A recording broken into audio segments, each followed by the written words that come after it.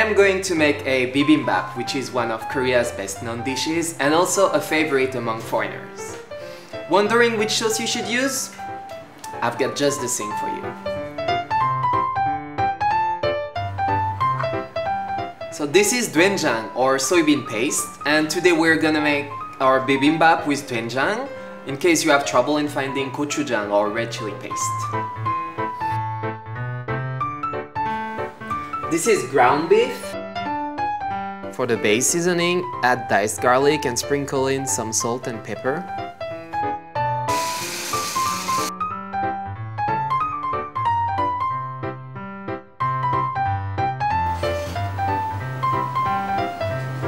Dice the onions.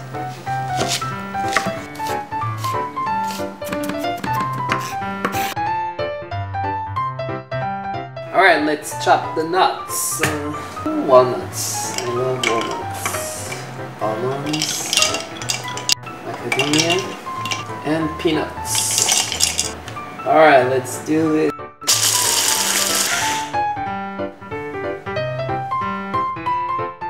Heat up a frying pan and stir fry the beef.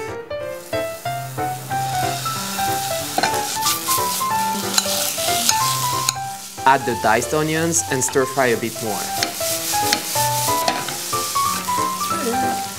When the beef looks cooked, add some sesame oil and pour in the nuts and doenjang. Time for more stir frying.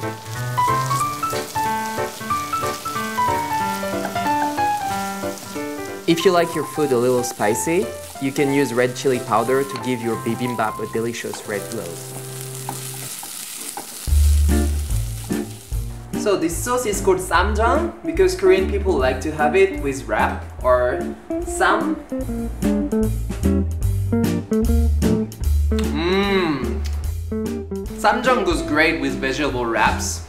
The beef and the nuts uh, make the sauce less salty and the sesame oil uh, makes it extra savory. Lovely.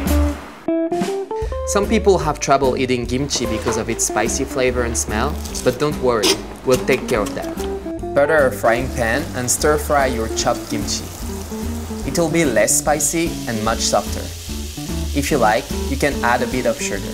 Stir fried kimchi, stir fried kimchi. Find some vegetables from your fridge and slice them up. Then, fry an egg using sesame oil.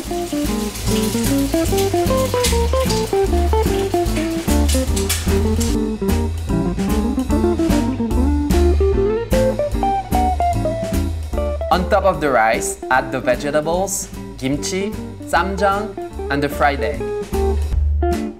Mmm! The ssamjang bokkeum kimchi bibimbap is complete.